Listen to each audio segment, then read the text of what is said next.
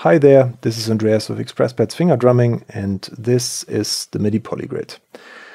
The MIDI Polygrid is an app for Android and iOS, and it can turn your tablet or phone into a pad controller for finger drumming.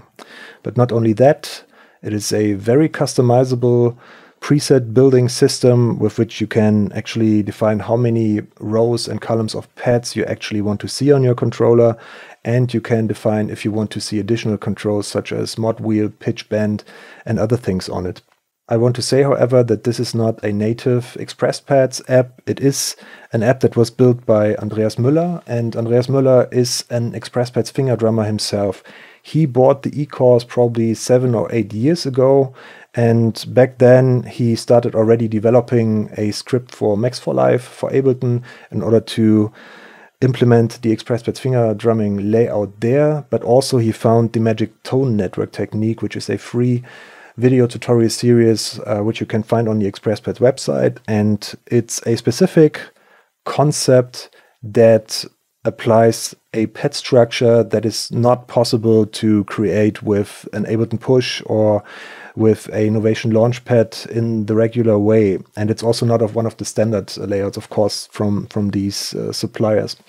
But Andreas was very convinced by this concept and therefore started developing a Max for Live device, which actually was capable of doing this. And you can also download this from the XpressPads website. At some point, he contacted me again and told me, Hey, Andreas, I've built this app would you like to take a look at it? Uh, by default, it will include the XpressPads standard layout, uh, Latin and Jazz, the Extreme layout, and the Magic Tone network layout. So he asked me if I would like to take a look and give him some feedback and do some kind of beta testing. And of course, I gladly did this. And now the app is ready for the public, and I was more than happy to put some time in in order to create a video tutorial series which actually covers everything. So I explain how you can connect it to your computer with USB and make your tablet send MIDI data to your computer, which is not as trivial as it sounds.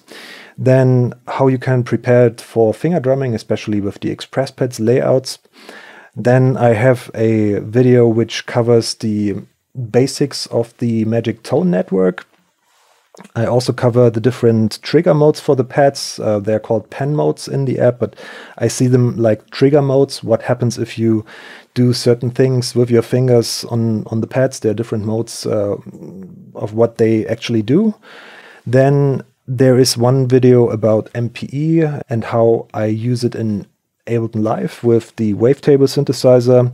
And eventually, I also speak a bit about the different layouts which are not XpressPads layouts. I've also created a playlist where I put all the videos for this tutorial series in, and I recommend that you go there and watch it from start to finish so that you don't miss anything. I was actually quite blown away that Andreas put in the effort to create something like this. And uh, yeah, of course, if I can give something back, then it's uh, my time to review it and um, make it accessible to you as well and let you know about it. I'm totally convinced that this is a great app and it's really helpful. It's a great tool and you should definitely take a look. And if you want to take a look, you can find it on the App Store for iOS or on the Google Play Store for Android. However, I have to say that I haven't tested the iPad version because I don't have one and I only use Android devices. And um, that's the reason why I asked Andreas if there's some difference between those devices. And he said the apps themselves, they are operating in exactly the same way. However, the iPads only work with Macs and not with PCs. And besides that, everything should be identical. I want to also give a few technical notes. Uh, first of all, this app doesn't create any sounds, so it's just a sender of MIDI data and that means you will need to have some software on your computer installed that can interpret MIDI data and convert it into sound. That's important.